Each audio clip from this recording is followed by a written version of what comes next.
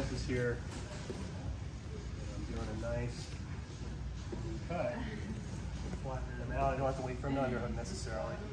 My feet get ahead of my body. And as I push myself up, capture here, pull myself back with my knee, similar to what we used here.